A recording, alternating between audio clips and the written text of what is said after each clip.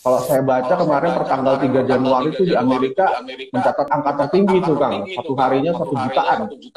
Ya. Nah di tempat Kang Diki juga lagi meningkat juga nih Kang. Meningkat juga nih Kang. Ya dan begini jadi ini uh, banyak hal yang baru dalam uh, masa Omikron atau era Omikron ini bahwa rekor-rekor banyak dipecahkan oleh Omikron yeah. ini. Ya. Rekor yeah. terutama adalah rekor kasus dan ini tentu tidak mengagetkan karena sekali lagi Omikron ini kan tiga empat kali lebih cepat menular dari Delta. Dan artinya dalam potensi kasus ya setidaknya sama um, jumlah kasusnya empat kali atau setidaknya yang yang lebih banyak daripada Delta. Dan ini yang kita sudah lihat sekarang bukti secara lapangannya di dunia nyata bahwa ya. kasus dunia ini pun dalam 24 jam terakhir do, uh, pecah rekor 20 jutaan lebih ya dengan yeah. bahkan yeah. hampir semua negara maju yang memiliki kapasitas deteksi yang baik.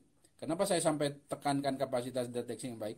Karena kalau negaranya nggak memiliki kemampuan deteksi dini yang baik dalam hal testing ya nggak akan ketahuan banyak seperti halnya delta mm. gitu. Nah yeah. ini yeah. Amerika, Eropa termasuk di sini itu meledak, pecah rekor semua, pecah rekor dan ya, Uh, apa namanya ini pesan pentingnya adalah bahwa sangat tidak bisa kita hindari uh, kasus omikron ini merebak ya dan kita harus harus hmm. bersiap dengan banyaknya kasus. Namun, nah namun nih ada berita baiknya. Berita baiknya adalah bahwa kita saat ini dunia termasuk memiliki modal lebih besar dalam artian orang yang sudah memiliki imunitas baik itu karena terinfeksi ataupun terutama karena vaksinasi atau bahkan terinfeksi dan tervaksinasi itu sudah hmm. lebih banyak gitu dibandingkan ketika delta awal datang ataupun apa namanya uh, alfa varian datang sehingga alpha. kita melihat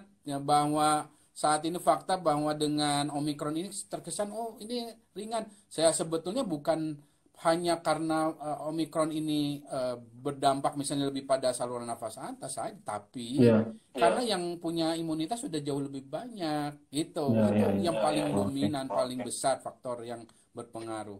Sehingga pesan berikutnya adalah untuk kita di Indonesia segera divaksin, dosis lengkap, bahkan hmm. pada kelompok berisiko tinggi harus segera di booster karena tiga negara memberikan data yang sangat jelas nih Amerika, Denmark dan Inggris nih saya di Twitter juga sudah saya sampaikan.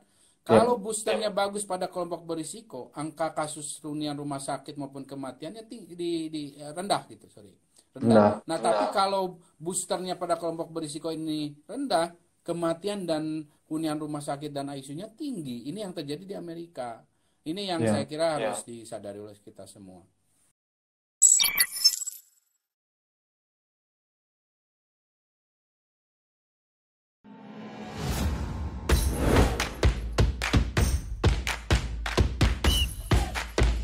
Ayam kalau diaduk-aduk jadi cair. Seriously? Diaduk kayaknya ya.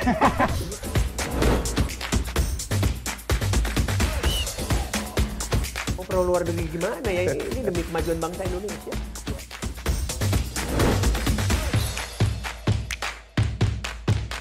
Isu kebangkitan uh, PKI ini uh, dihentikan.